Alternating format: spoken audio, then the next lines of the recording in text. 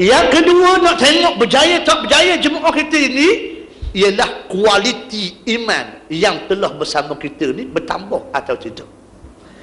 Okey, yang bersama kita 50 orang. 50 orang ni semua sekali bagi dak kuliah. Program-program untuk meningkatkan iman, usrah, tamrin, kuliah, tazkirah, ada tak? Kalau masih lagi sikit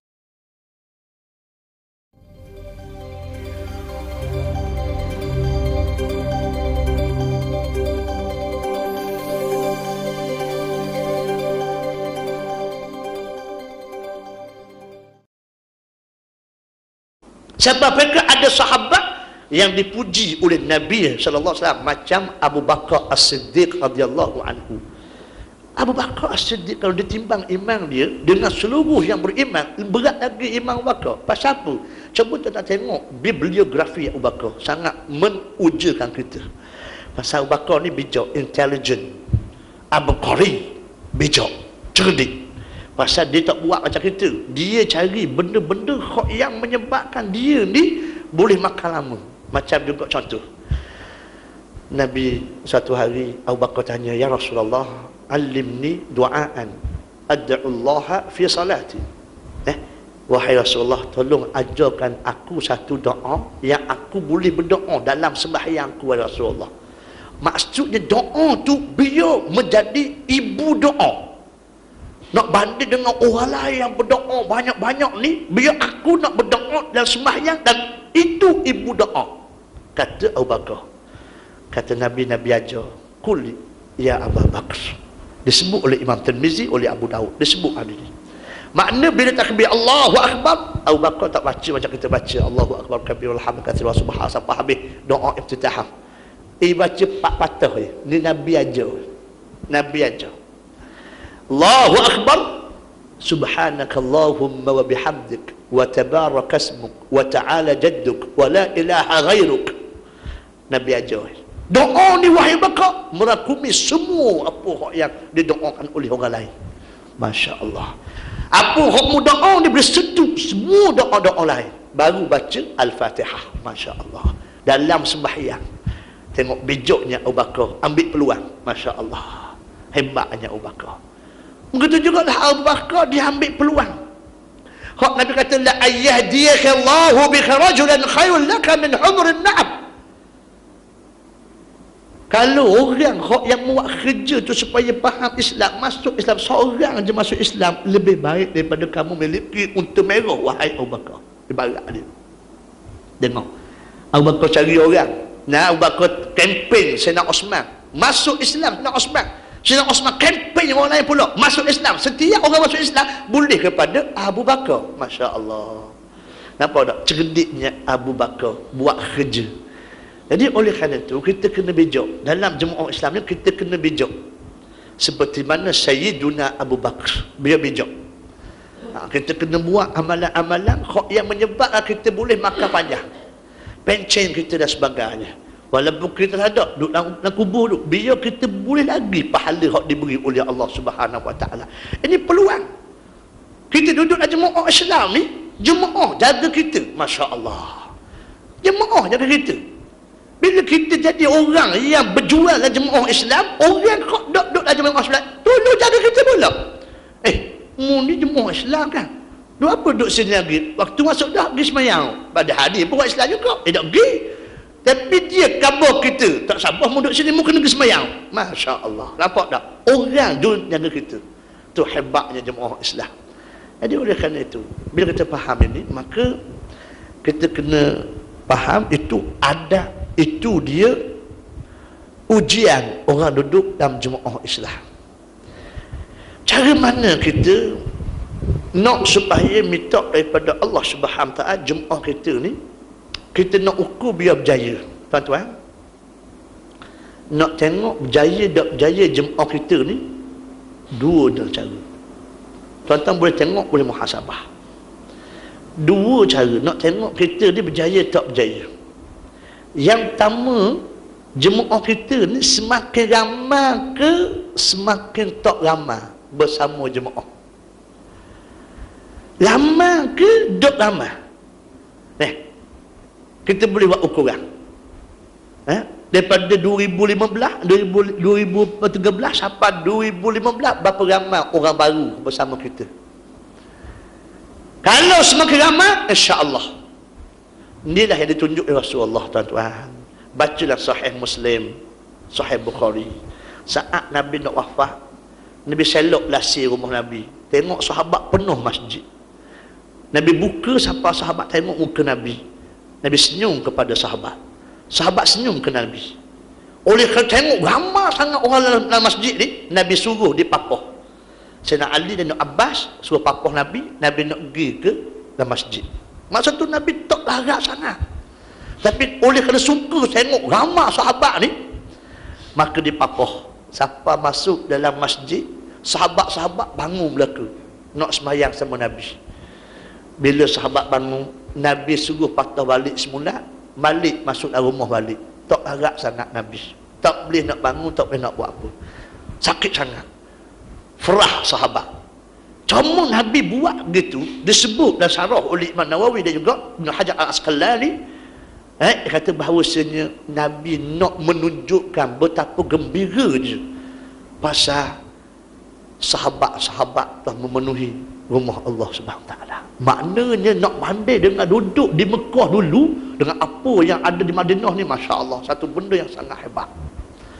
Benda yang sangat hebat. Bayangkan masa duduk Mekah Ibnu Athir kata tak lebih 800 orang yang sambut Nabi yang ikut Islam. Itu pun separuh lebih tidak secara terang-terang Hak terang-terang, hak sepakat ulama 80 orang. Masya Allah. Hak lain semua bersembunyi belaka. Sebayangkan, Nabi duduk di Madinah sebelum wafat, Nabi berkhutbah di Haji Wada' depan dengan padang Arafah. Bilangan sahabat 110 ribu sahabat. Allah Rabbi. Nampak tak? Duduk Mekah 13 tahun hanya 800 orang duduk di Madinah 10 tahun nampak tu boleh 110 ribu sahabat Masya Allah nampak tak hebat tak hebatnya anugerah Allah kepada Nabi sallallahu alaihi wasallam. Nabi rasa seronok sangat pasal ramai sahabat-sahabat hak duduk dalam masjid menandakan bahawa itu di antara piawaian nak ukur gerak kerja kita. Eh, dan kalau sejak 2013 siapa malam ni? Mana ni 20 orang ni? Tak tambah-tambah. Ha, ada something. Ada something. Ada benda yang perlu diperbetulkan. Yang kedua nak tengok berjaya tak berjaya jemaah kita ini ialah kualiti iman yang telah bersama kita ni bertambah atau tidak. Okey, yang bersama kita 50 orang. 50 orang ni semua sekali bagi dak kuliah program-program untuk meningkatkan iman usrah, tamrin, kuliah, tazkirah ada tak? kalau masih lagi sikit nak banding dengan semua jumlah yang bersama kita ni maka kita boleh buat pedoman bahawa sejemaah kita tak jaya lagi tak jaya lagi kalau semakin ramai semakin kuat iman jemaah kita insyaAllah itu tanda kekuatan ha? jemaah kita berjayanya jemaah kita Ha, jadi oleh kerana itu malam ni sahabat-sahabat hak depan boleh pakat fikir belaka. Pakat renung belaka. Inilah kerja kita. Inilah kerja kita nak meramaikan orang bersama dengan hidayah ini nak meningkatkan iman orang yang tak bersama kita. Allah Rabbi. Kalau zaman Nabi sallallahu alaihi wasallam dulu Nabi tanya sahabat Al-Harith, "Kaifa asbahta ya Haris?" Ha? "Asbahtu mu'minan ya Rasulullah." Ha? Macam mana hari ini wahai Haris? Allah aku beriman Rasulullah. Ah, kamu beriman. Apa di ma alamatuha? Apa dia tanda yang kamu beriman wahai Haris? Ya Rasulullah, ka'anni aral jannata amami. Aku seolah Allah duduk depan Rasulullah dapat tengok syurga sekarang ni terpampang depan aku. Allah Kata Nabi, Saddaqta ya Haris. Betul wahai Haris. Kalau begitu keadaan kamu, memang kamu ini orang yang beriman sungguh. Allah Rabbi. Nampak tak? Maknanya orang yang bersama Rasulullah, iman dia semakin mencacak naik. Masya Allah. Orang duduk bersama jemaah Islam, mencacak naik sebab tu iman dia. Eh? Tapi alangkah malangnya kalau bersama jemaah Islam ada lagi yang tak cukup sembahyang. Tapa posta so kira lah panjang pokoknya nolah dada. Tapi sembahyang tak pergi berjemaah. Kuliah maghrib tak pergi. Maka tanpa disedari mungkin ini yang menghalang pertolongan daripada Allah Subhanahu Wa Taala. Kerja kita lah. Kerja kita yang ada jawatan ini untuk seramai mungkin kaedah yang diguna pakai tajmi' wa tauzif tajmi' wa tauzif kita kupu selama mungkin orang lepas tu nak suruh dia ni biar ada kerja biar ada kerja. Tauzif kena pergi kerja ke dia? Kalau main kumpul macam dia ni 10 orang 20 orang ha, lepas tu kan balik tak nak tahu apa nak buat kerja. Nampak tu? Maka dia akan rasa macam tidak dihargai. Ha? kalau kita mari jumpa dalam usrah ke apa okey kita beri tanggungjawab dia okey? Tanggungjawab anda orang rumah ni orang rumah ni demo kena pegang tengok ha, dalam tempoh dua bulan kena nak tengok paling kurang biar ada wakil daripada dua hotel rumah ni bersama kita. Contohnya mana tajmi' wa tawzi. Ini kaedah yang diguna pakai oleh jemaah Islam. Kumpul beri tugas. Kumpul beri tugas. Supaya dia merasa kebersamaan bersama jemaah Islam. Bukan hanya sekadar mari dengar balik tidur. Mari dengar pula balik tidur. Tak ada apa yang boleh disumbangkan. Nampak tu?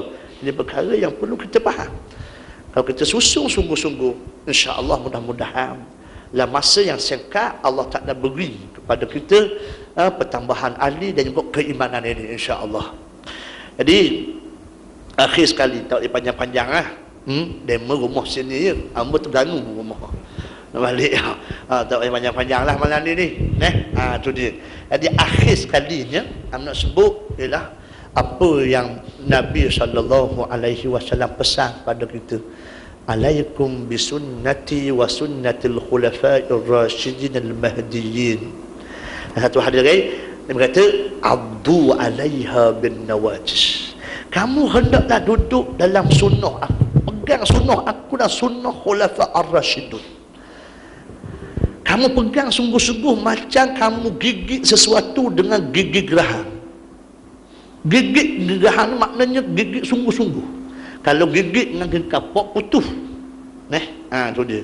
Jadi kita kena faham apa hak Nabi beritahu tu. Alaikum bisunnati. Mewajib ikut sunnah aku. Pasal apa Nabi atafkan? Wa sunnatil khulafa ar-rasyidin eh pasal apa Nabi suruh ikut juga khulafa ar-rasyidin tak cukup lagi ke sunnah Nabi? Tak cukup lagi ke apa yang ditunjuk Rasulullah siapa pekat khulafa ar-rasyidun pun Nabi suruh ikut nampak tak? Ini pandangan jauh Nabi SAW dan, dan memang gaya pemerintahan empat khulafa berbeza sama sekali. Sangat berbeza. Ha? Abu Bakar cara dia Umar cara dia Osman cara dia Ali pun cara dia.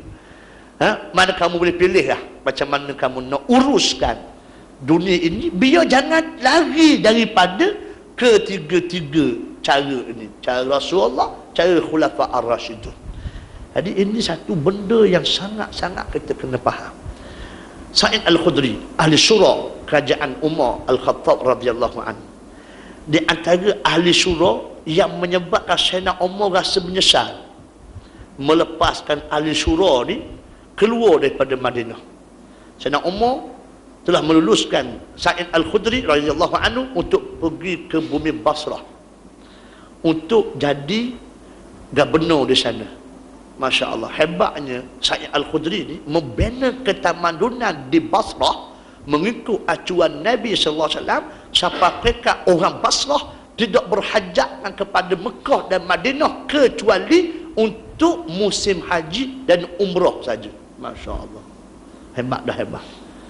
Nampak pasal apa? Pasal anak kuncinya disebut oleh Sa'id Al-Khudri ialah dia mengikut apa yang dibuat Rasulullah membina manusia dengan ilmu. Membina manusia dengan ilmu. Setiap hari kami, petang kami dia ada kuliah. Setiap petang. Kamis kuliah ini yang dibuat oleh Sa'id Al-Khudri jadi oleh kerana itu kita kena tengok jejak langkah ini mudah-mudahan insya-Allah walaupun lambat gerak kita tapi insya-Allah dia akan terus berjalan walaupun sikit demi sikit tuan-tuan jemaah Islam ini macam air sungai kata Syekh Al-Maududi rahimahullah. Macam air sungai mengalir. Walaupun kita tak sedar dia mengalir macam sekarang ni air sungai mengalir. Walaupun kita tak peduli dia dia mengalir tetap mengalir. Begitu juga harakah Islamiah terus berjalan. Kalau kita tak peduli tak apa pun tak ada masalah. Allah tak pelahak pun jasa kita. Allah tak pelahak pun tenaga kita ha? cuma je yang rugi kita. Yang lebih parah kalau sekiranya ada orang cuba nak sekat aliran sungai. Ambil batu sak letak tengah-tengah sungai. Batu besar. Yakin percayalah sungai ni akan pecah